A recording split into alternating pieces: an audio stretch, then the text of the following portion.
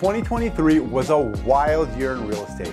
Few highs like record sales for a single family home and a bunch of lows, like the fewest annual sales since 1997. What's ahead? Let's talk about it. I'm Darcy Toombs, real estate broker and team leader of Toombs Team Real Estate Group at Coldwell Banker, and here is your 2023 year in review for the local real estate market of Newmarket, Ontario.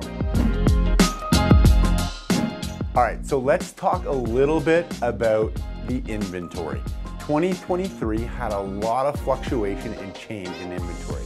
The year started out roughly with 100 active listings and stayed in that range for the first five months, and then steadily increased through the summer, peaking out around 243 active listings at the end of October.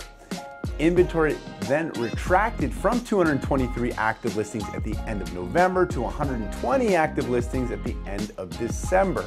Now, this is a fairly normal occurrence to have homes withdrawn from the market over the holiday season, and we do fully expect to see the active listing count get back up over 200 fairly quickly, as many of the homes that were withdrawn come back to the market. Now, the next thing we do need to address is the low sales volume we have to mention how slow the year of 2023 was for sales. It was actually the slowest year in sales in Newmarket since 1997. By the way, Newmarket has grown by 50% since that year. So this is really a staggering figure. Unit sales were down by 16% from 2022, but were down nearly 50% from 2021 sales levels which had had the second most annual sales ever in Newmarket. December had 65 sales reported for the month, which is actually a fairly normal number of sales for the month of December, which was a bit surprising to me given how slow the whole year was. But this could be due to a sense of urgency from some buyers as they watch the active inventory evaporate through the month as many homes were withdrawn.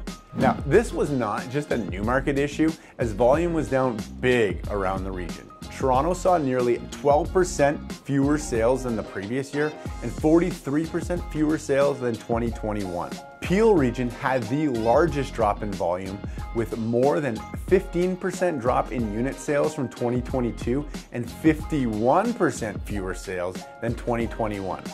That's pretty wild. Now, with prices, they didn't move a whole lot in 2023. There were some months where they were up and some months where they were down. However, there appears to be a slight downward trajectory with the median price per year decreasing through the months and settling at 1,126,000 for the whole year of 2023. Now that is similar to where the market was in September of 2021. Average and median sale prices in December bumped up a little bit from November, but my guess is that's largely due to the number of homes that were withdrawn from the market, leaving buyers with fewer options. Now, we have to talk about price segments as it is a pretty important part of where the market is.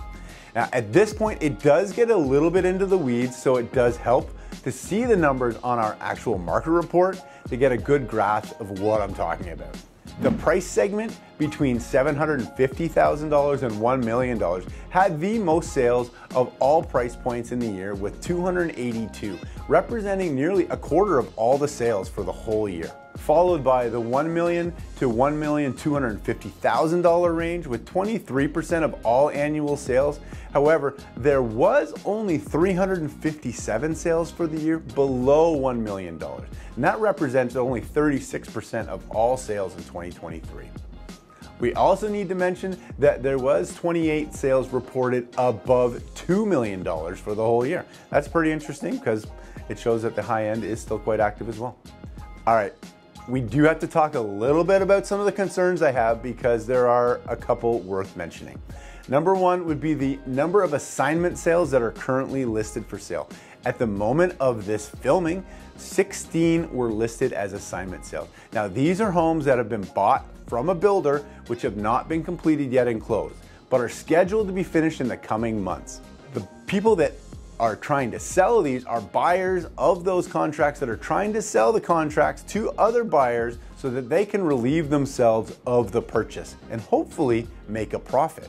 Now, the challenge here is that the market for pre construction assignment sales has completely imploded. There has only been one assignment sale reported in all of Newmarket since 2022. And the prospect of others does not look very good as the inventory of other housing types has been increasing as well as the interest rates. An assignment sale is really only attractive when there is little to no inventory and prices are attractive to investors to buy. Now, my other concern is the number of vacant homes that are currently listed for sale. At the time of this filming, there's 141 active listings with 63 of them being listed as vacant. Now that represents 44% of all listings that are currently listed are actually vacant homes. During the whole year of 2023, there were 223 vacant homes sold in the new market, representing roughly 24% of the annual sale. So you can see that we currently have a glutton of vacant homes compared to what we can really expect to see sell for the whole year. Now, I should be clear though, um, a lot of those could be those assignment sales that are not even occupied yet because they're not even finished built. So they're listed as being vacant. So those numbers could be skewed because of that, those assignment sales listed. So really in summary, low inventory at the start of the year kept prices high. High prices coupled with high interest rates kept sales volume low. Low sales volume meant inventory started to build through the year. And as, in, as inventory increased, prices started to correct downward.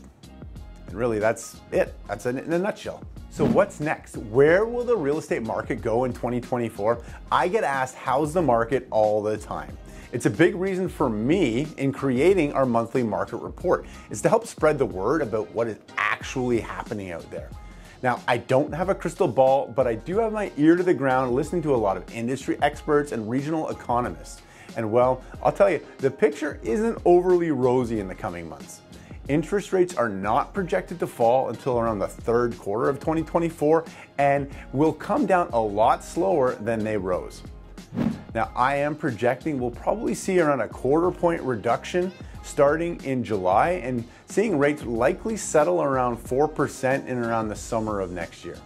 Now, which is regarded by many in the mortgage business to be considered around the sweet spot. The Bank of Canada has their first interest rate announcement on January 24th, but I'm fully expecting to see them hold the rate for this month. There is an expected $1 trillion in mortgages coming up for renewal in 24 and 25, and the majority of those looking to renew will be faced with significantly larger mortgage rates and payments and may have a harder time qualifying for their new financing requirements, let alone their future monthly payment.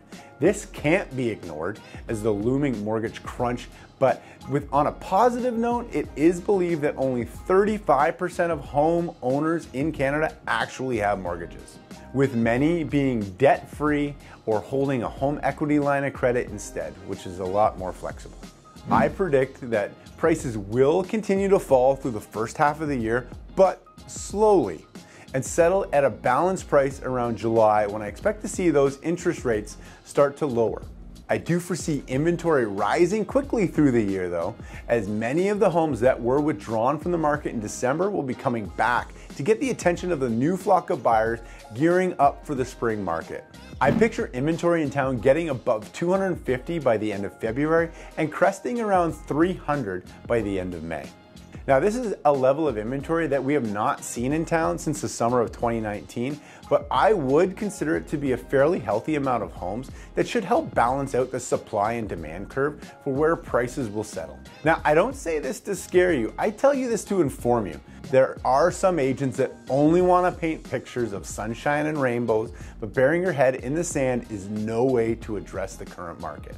Having a solid understanding of what is happening will help you get a better understanding of where you need to be positioned to successfully make a move in this competitive market.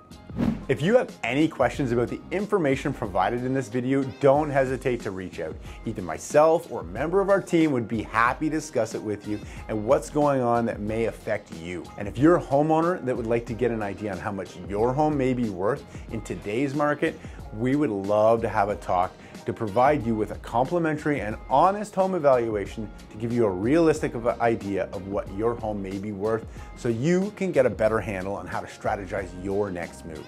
Go to toombs.team slash value for more information. We'll see you next month.